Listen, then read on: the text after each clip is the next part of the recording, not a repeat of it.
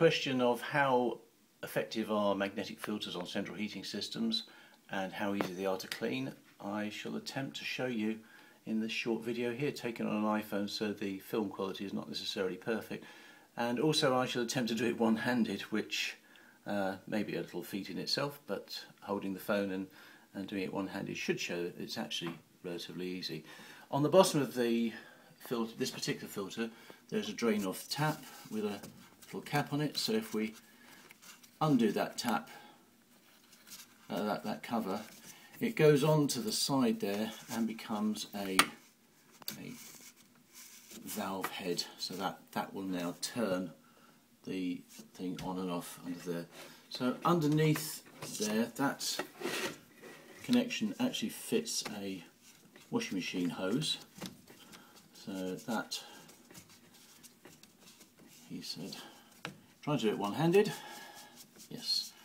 Um, one-handed we can still get that on there.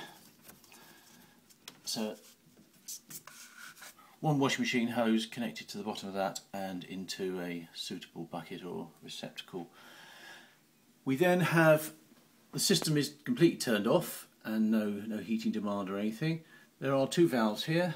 Turn those 90 degrees to isolate the valve off and opening the valve on the side there will release the water out of the system. Now we can actually clean the filter, uh, clean the magnet by pulling the magnet out of the top here and flushing water through the system but I'm going to actually take the top off so we can see what's actually in the filter, see how effective it's been.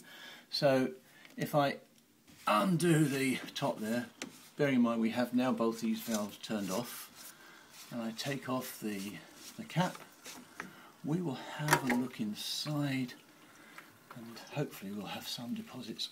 Wow. Wow. Okay. Well, if anybody has any doubts as to how effective these filters are, trying to get that into a position you can see it in the light, uh, that is pretty disgusting. So we will, next we will take that off not to a white sink because that's going to be pretty mucky, but off to a, a drain or stainless steel sink. We'll pull the magnet out of the middle and we'll flush the, the magnetic uh, sludge off there. And that was done one-handed.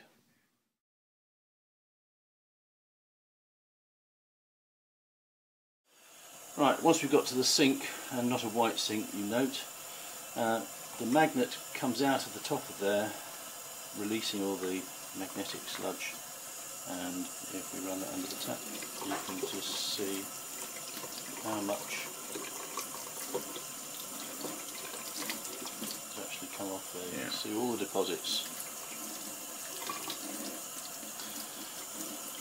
And there it is, the filter's cleaned, magnet back in and we're ready to go again.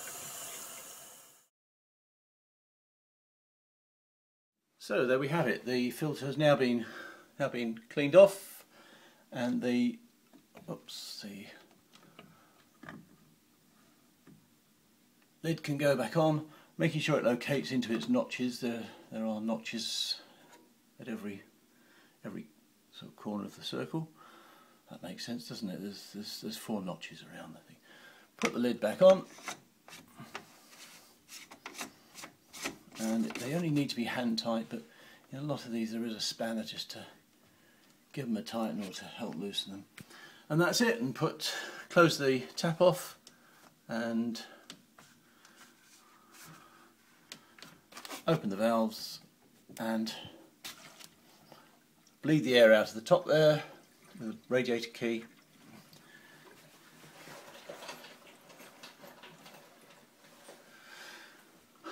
bleed the top, bleed the air out of the top from the bleed point.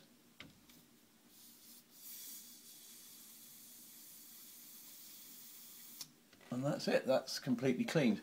The other quick way of cleaning these is, is much simpler. It doesn't completely clean the stuff off the magnet, but go through the same process again, isolate the, the valves off, open the, open the tap there with the with the hose attached going into some sort of some sort of bucket.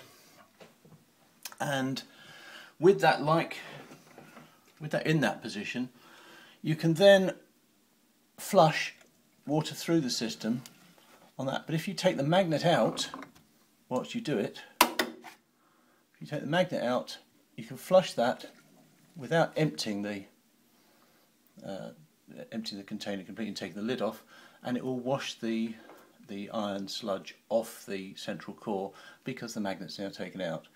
So you don't actually have to take the top off to clean them. But that, one-handed, in a couple of minutes, is how to clean a magnetic filter and certainly shows how effective these things are. If there's ever any questions about do they take out contaminants, they certainly do. And if you have a modern high efficiency boiler with very uh, very sensitive electronics uh, in them and, and, and sensors, uh, sensitive sensors in the waterways, they will get very badly affected by this sludge in the system. And in, in parts of the boiler there are very narrow waterways that this sludge will most definitely affect and damage adversely. And these filters, whatever make, they will protect your investment of your, your very expensive new high efficiency boiler and as far as I'm concerned they're pretty much a must on every installation so if you haven't got some sort of magnetic filter on your on your system get one fitted and if you're having a new boiler fitted make sure the system is completely properly flushed and cleaned uh, preferably power flushed before the new boiler goes in and put one of these onto the system for ongoing protection to make sure that the boiler doesn't get. The other important thing, of course, is to make sure the system is is completely properly treated with corrosion inhibitor. The beauty of these filters also is that, uh, as it is at the moment with the, the taps turned off there, I can drain that container out and I can I can treat the system from here. I don't have to go into the loft to put things in the header tank. I can actually treat the system with corrosion inhibitor in here, empty Fernox or Sentinel or, or whatever other brands are out there uh, into the system for the future. And that, in a nutshell, is it. And if I can do that one-handed, I'm sure um, it shows how, how straightforward it is.